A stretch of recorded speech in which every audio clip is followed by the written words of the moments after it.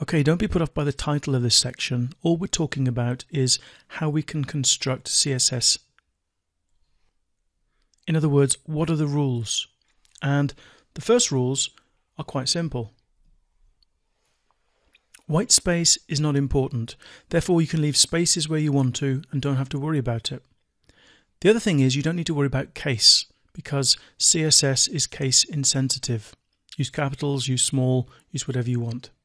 And the third general point I want to make is that you can add comments to your code. So let's have a look at a bit of example code. The example code is the code on the left of this screen.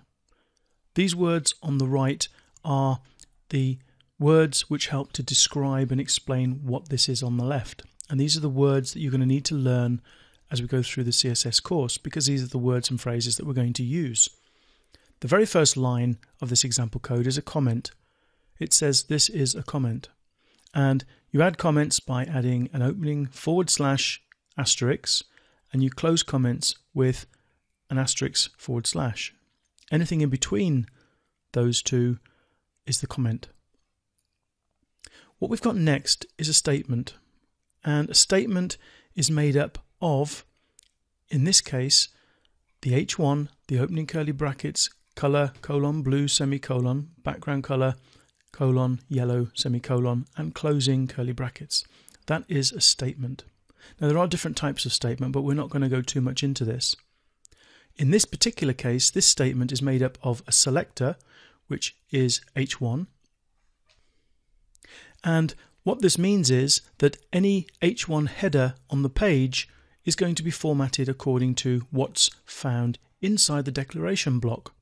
And the declaration block is anything inside the opening curly brackets and closing curly brackets. So in this particular case, a web page that uses this CSS, all the H1 headers are going to be blue with a background of yellow. Now I should point out here that this is a very simple selector, H1. We're going to see more complicated ones as we do this course. So in general, the selector is anything to the left of the opening curly brackets. The declaration block we've already mentioned is anything between the two curly brackets and the declaration block is made up of declarations and these declarations define attributes of the selector that we're trying to change. So in this case color blue is being applied to the H1 header as is background color yellow being applied to the H1 header.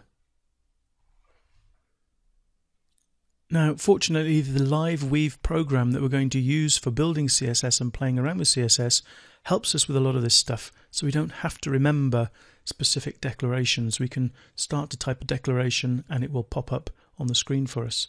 It will also create the opening and closing curly brackets and help with selectors as well. So we don't have to remember too much. But let's just recap on what the four words over here means. The statement is everything from the H1 down to the closing curly bracket. The selector is anything to the left of the opening curly bracket. The declaration block is anything between the curly braces, and the declaration block is made up of declarations. In this example, there are two declarations. Color equals blue, background, background color equals yellow. So declarations refer to individual attributes of the selector, in this case H1, making all H1 headers on a page that uses this CSS blue with a yellow background.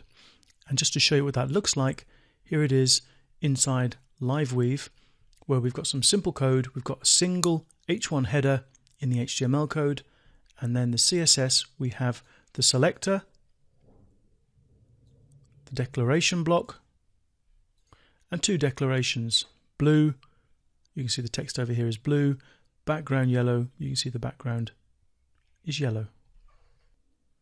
I recommend you go over this video a few times until you are familiar and happy with using these words over here statement, selector, declaration block, and declaration.